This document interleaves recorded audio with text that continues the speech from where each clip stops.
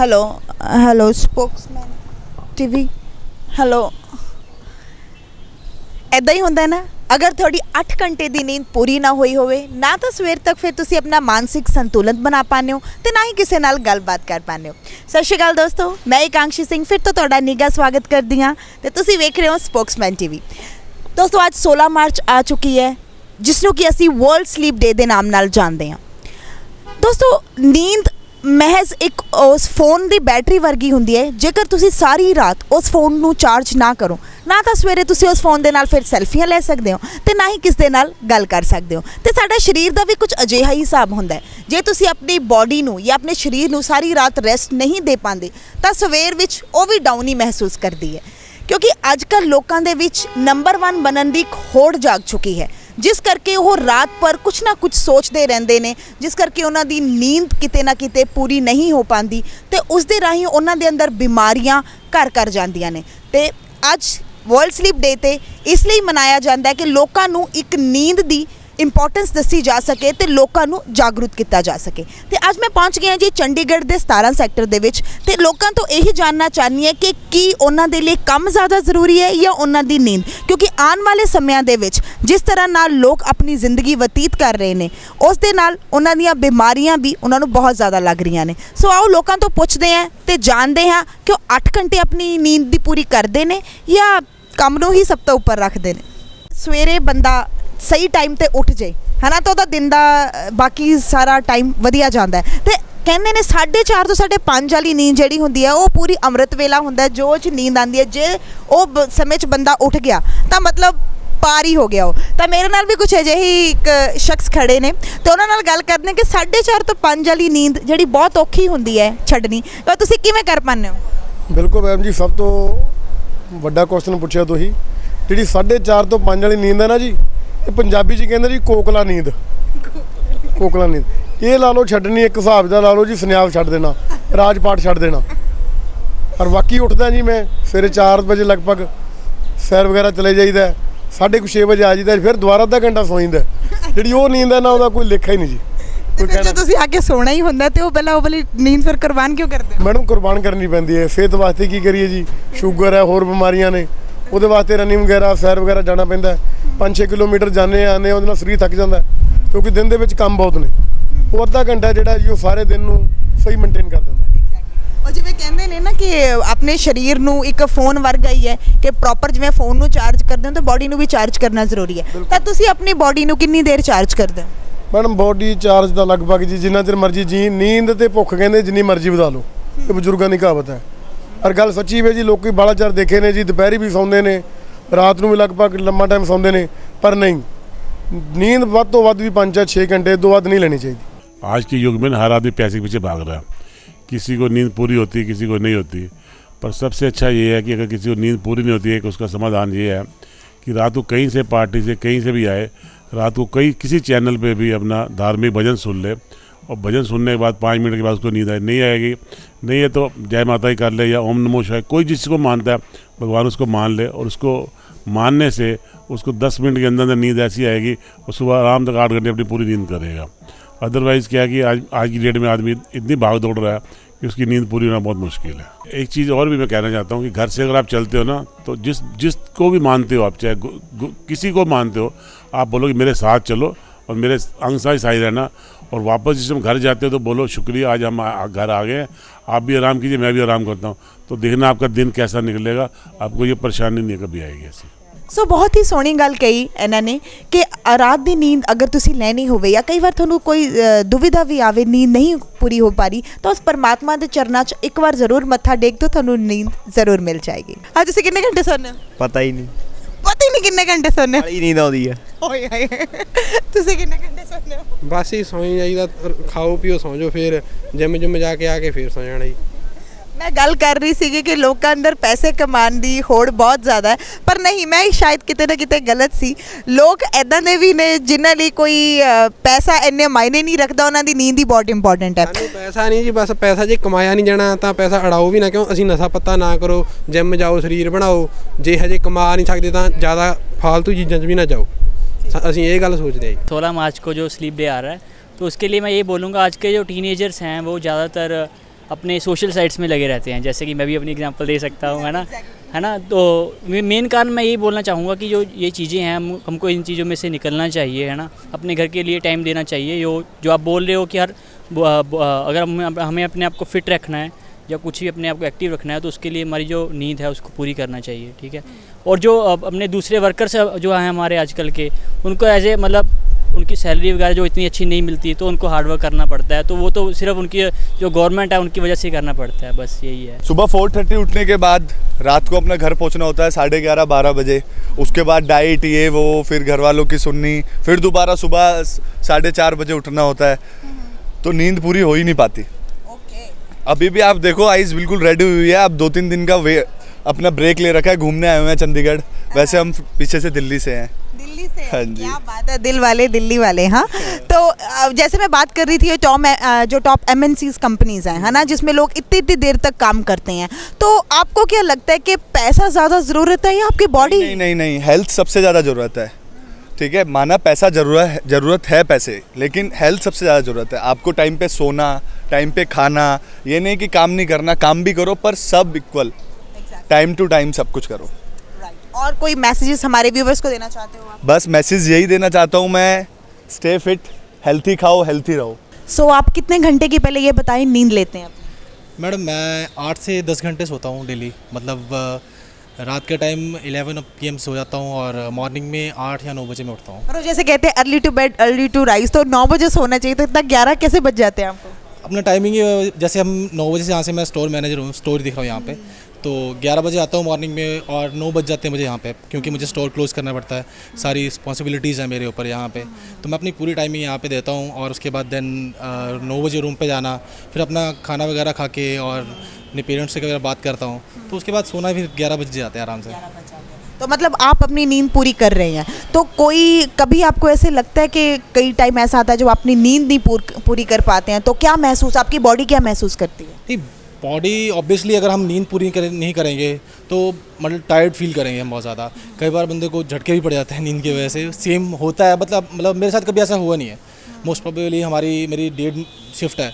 तो आठ से दस घंटे दस घंटे पूरे यहाँ पे शिफ्ट लगाता हूँ मैं तो रात को तो आराम से ग्यारह बारह बजे मतलब कभी बार पार्टी वगैरह हो तो एक बजे एक भी बज जाता है तो वैसे मोस्ट प्रोबेबली सो ही जाते हैं तो मतलब पूरी हेल्दी लाइफ बिता रहे हैं अपनी नींद पूरी दे रहे हैं आप जिस तरह की मैं पहला ही गल करके हटी ਹਾਂ ਕਿ ਨੀਂਦ ਸਾਡੀ ਜ਼ਿੰਦਗੀ ਵਿੱਚ ਬਹੁਤ ਹੀ ਅਹਿਮ ਰੋਲ ਨਿਭਾਉਂਦੀ ਹੈ ਜੇਕਰ ਤੁਸੀਂ ਆਪਣੀ ਨੀਂਦ ਪੂਰੀ ਨਹੀਂ ਲੈ ਪਾਉਂਦੇ ਤਾਂ ਤੁਹਾਡੇ ਅੰਦਰ ਕਿੰਨੀਆਂ ਬਿਮਾਰੀਆਂ ਪਨਪਦੀਆਂ ਨੇ ਤਾਂ ਤੁਹਾਨੂੰ ਕਿਸ ਤਰ੍ਹਾਂ ਦੀਆਂ ਪ੍ਰੋਬਲਮਸ ਅੱਗੇ ਫੇਸ ਕਰਨੀਆਂ ਪੈਂਦੀਆਂ ਨੇ ਤਾਂ ਉਹਨਾਂ ਦਾ ਤੁਹਾਨੂੰ ਜਾਣਕਾਰੀ ਦੇਣ ਦੇ ਲਈ ਅੱਜ ਮੈਂ ਡਾਕਟਰ ਸਾਹਿਬ ਨਾਲ ਤੁਹਾਨੂੰ ਮਿਲਾਨ ਵਾਲੀ ਹਾਂ ਤੇ ਉਹਨਾਂ ਦਾ ਨਾਮ ਹੈ ਅਮਿਤ ਕੁਮਾਰ ਮੰਡਲ ਜੋ ਕਿ ਚੈਸਟ स्पेशलिस्ट ने तो आओ उन्होंने नाल ही मिलानी है हेलो सर हेलो नमस्कार पहले तो आपका बहुत बहुत स्वागत है स्पोक्समैन टीम में नहीं थैंक यू आकांक्षी जी थैंक यू आ, मेरा पहला यही क्वेश्चन रहेगा जिस तरह से आपने कहा कि आप चेस्ट स्पेशलिस्ट हैं तो इसका नींद के साथ किस तरह का मतलब संपर्क बनता है अच्छा नींद की प्रॉब्लम जो होती है कई प्रकार की हो सकती हैं और आमतौर पे न्यूरोलॉजिस्ट और चेस्ट स्पेशलिस्ट दोनों डील करते हैं। पर जनरली जो लैब्स होते हैं आ, वो जनरली चेस्ट स्पेशलिस्ट ही यूज़ करते हैं और ज़्यादातर पेशेंट्स जो प्रॉब्लम्स होती हैं मिला जुला के होती हैं बट ज़्यादातर तकलीफ़ें चेस्ट के पास ही आ जाते हैं। इसलिए हम लोग स्लीप लैब को हमारे हॉस्पिटल में हम लोग ही रन करते हैं। तो जैसे आप देख रहे हैं कि आजकल लोग नंबर वन बनना चाहते हैं तो उसमें कॉम्पिटिशन्स इतने उनके चल रहे हैं कि अपनी रातों की वो नींद नहीं ले पाते हैं ताकि वो अपने आप को कहीं अप्रूव कर सकें है ना? तो अगर बंदा अगर कोई इंसान अगर अपनी नींद पूरी नहीं ले पाता तो किस तरह की उनको प्रॉब्लम्स आने वाले टाइम में फेस करनी पड़ सकती हैं? इंपॉर्टेंट ये है कि एक तो जो कंपटीशन के या नंबर वन रहने के लिए जो नींद नहीं आना वो अलग पहलू है वो दूसरी प्रॉब्लम है। हम नॉर्मली जो as as a doctor as a medical person जो डील करते हैं, ये उनके साथ प्रॉब्लम्स आती हैं, नींद के साथ जो डायबिटिक हैं, थोड़ा सा मोटापन है हाइपरटेंशन है, या किडनी की तकलीफ़ें हैं, या दिमाग की कुछ प्रॉब्लम्स हैं, और जिसके साथ साथ खराटे और नींद की झपकी आना, दिन के टाइम बैठे बैठे बहुत सारे होते हैं जो स्कूटर चलाते चलाते टू व्हीलर या गाड़ी चलाते चलाते सो जाते हैं। बहुत सारे पेशेंट्स हमारे पास आए हैं कि तीन चार बार एक्सीडेंट होने फिर बच्चे लेके आते हैं कि पापा को नींद आ जाती है गाड़ी चलाते चलाते और दो तीन बार गाड़ी टक्कर मार चुके हैं। तो ऐसे पेशेंट्स को इलाज की ज़रूरत है और उसमें सबसे पहले तो तय ये होना चाहिए कि प्रॉब्लम क्या उसका सुलझाव होना चाहिए, पहले डायग्नोसिस होनी चाहिए, उसके बाद उसका सुलझाव या ट्रीटमेंट पे आ सकते हैं। तो वही मेरा अगर फिर से वही क्वेश्चन रहता है कि अगर नींद नहीं पूरी होती किसी इंसान की तो किस तरह का उसमें दिमाग पे वो चीज़ असर करती है? तो इसकी शुरुआत प्रॉब्लम ये होती है कि सबसे पहले तो एक नॉर्मल फैमिली मेंबर या जो स्पाउस या जो उनके फैमिली मेंबर्स हो गया पेशेंट खुद ही बताएगा शायद कि एक तो खराटे की तकलीफ़ से मेरे मेरे साथ कोई सोना नहीं चाहते हैं। सेकंड बैठे बैठे सुबह जब मैं उठता हूँ नींद से तो मुझे फ्रेशनेस नहीं महसूस होती है, या दिन के टाइम बैठे बैठे नींद आती है, या काम में कंसंट्रेट करना मुश्किल होती है। थर्ड जब ये लेवल बहुत बढ़ जाती है, बाकी मेडिकल प्रॉब्लम शुरू होने लगती हैं। चौथे लेवल पे जब प्रॉब्लम्स बहुत ज़्यादा बढ़ जाती है, तब मनोवैज्ञानिक या मेंटल डिसऑर्डर्स होने लगती हैं। तब उनको लगता है कि मैं दूसरों से इन्फीरियर हूँ, इन कॉम्प्लेक्स डेवलप होने लगती हैं, और साइकेट्रिक प्रॉब्लम्स यहाँ पे आ जा सकती हैं। इसलिए आपका जो सबसे पहला सवाल था न्यूरोलॉजिस्ट बहुत लोग होते हैं कि जिनको सिर्फ़ नींद नहीं आती है। Insomnia is a different problem ये जो प्रॉब्लम है खराटे के साथ और मेडिकल प्रॉब्लम्स के साथ नींद नहीं आना, ये दो अलग अलग बीमारियाँ हैं। सो एक जैसे नहीं समझना चाहिए। अलग अलग इसके ट्रीटमेंट डायरेक्शन अलग अलग हैं, इसके कारण अलग अलग हैं। तो बाकी ये बात भी कहते हैं कि अगर जिस इंसान की नींद पूरी नहीं होती तो उसका जो एटीट्यूड है, वो नेगेटिव होना शुरू हो जाता है, ज़्यादा चिढ़ना शुरू हो जाता है और जो महज अपने आठ घंटे की नींद पूरी लेता है, वो एक पॉजिटिव और बहुत ही वैसी सोल होती है जो हर चीज़ को पॉजिटिव वे से लेती है। क्या ये बात कितनी सही है? बहुत सही पॉइंट है और बहुत सही जवाब और सवाल भी है। इसमें जवाब के तौर पे ये मैं कहूँगा कि यस जैसे मैंने बताया था कि थोड़ा सा कॉम्प्लेक्सेस डेवलप हो जाते हैं बिकॉज़ उनको लगता है कि मैं बाकियों की तरह मैं परफॉर्मेंस नहीं कर पा रहा हूँ और अपना ही परफॉर्मेंस ख़राब होता रहता है।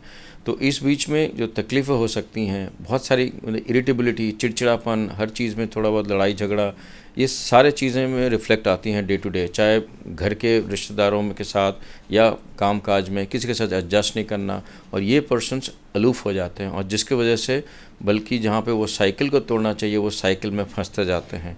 वो अलग अलग होते जाते हैं सोसाइटी से अलग, दोस्तों से अलग, परिवार से अलग, और वो फिर कहीं अपने एक दुनिया में फंस जाता है। तो इसके लिए सुलझाव करना बहुत ज़रूरी है। It's a very important point कि इसका जो इनके जो आइसोलेशन होती है वो बहुत ज़्यादा होने लगती हैं और इसी वजह से ये चिड़चिड़ापन और ये सब शुरुआती है वहीं से होती है।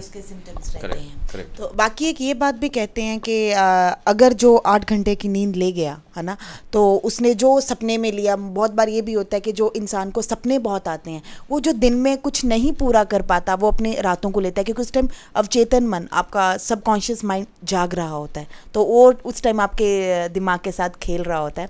तो इससे भी क्या कुछ ऐसी प्रॉब्लम्स आते हैं कि इन्फेरिटी कम्प्लेक्स बनने शुरू हो जाते हैं, आप कॉन्फिडेंस से आगे लोगों से नहीं आते, वो सपने में ही वो चीज़ें जीते हैं जो आप रियलिटी में करना चाहते हैं। इसमें दो इंपॉर्टेंट चीज़ें आपने बहुत अच्छे से हाईलाइट किया है। एक है नींद के घंटे और एक है सपने। दो अलग अलग पॉइंट हुई उसमें लूँगा। नींद के घंटे आपने जैसे बच्चा पैदाइशी जब होता है तो पैदा होते ही ज़्यादातर टाइम वो सोता है और जैसे हम उम्र हमारी बढ़ती जाती है, हम ज़्यादातर टाइम जागते जाते नींद हमारी कम होती है।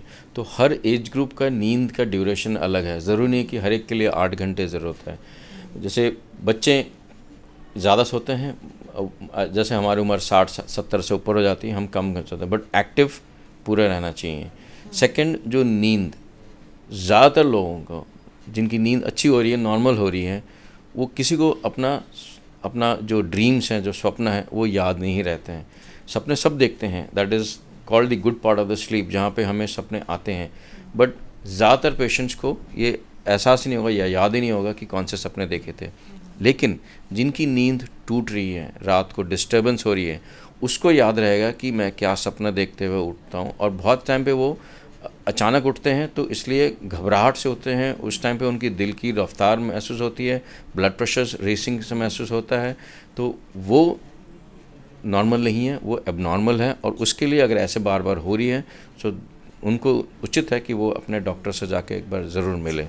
जैसे 16 मार्च अब स्लीप डे की अवेयरनेस है तो आप हमारे दर्शकों को क्या इस चीज़ का एक मैसेज देना चाहते हैं कि अवेयरनेस और जागरूकता कैसे फैलाई जा सकती है? Okay important take away message इसमें मैं यही बताना चाहूँगा कि दुनिया भर में इस, इस ऐसे बीमारियों का दिन सेलिब्रेट इसलिए किया जाता है ताकि हम अवेयरनेस जुटा पाएँ सोसाइटी के अंदर ताकि लोग इस ऐसे बीमारियों से सफरिंग कम हो।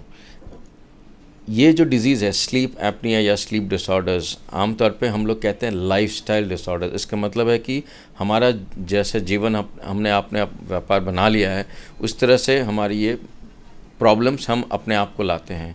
हम ना तो जो मैं टेक मैसेजेस पे शॉर्टली आऊँगा कि आप सही टाइम पे खाएँ सही टाइम पे सोएँ। सबसे हल्का खाना रात का होना चाहिए और कम से कम दो से तीन घंटे पहले होना चाहिए। सबसे भारी खाना मॉर्निंग में ब्रेकफास्ट में होना चाहिए और मझधार लंच टाइम होना चाहिए। हम बिल्कुल इसके विपरीत करते हैं। सबसे हैवी मील रात को खाते हैं और खाते ही सो जाते हैं और साथ में ड्रिंक्स लेते हैं। ये चीज़ें उल्टा करना है। आप देख लेना, पुराने टाइम में ये लिखा हुआ है कि सूरज ढलने से पहले हमारे को खाना खाना चाहिए। तो good exercise good diet timely sleep और अपना एक जो बैलेंस है, वो मेंटेन करें फैमिली वर्क और सोसाइटी के बीच में।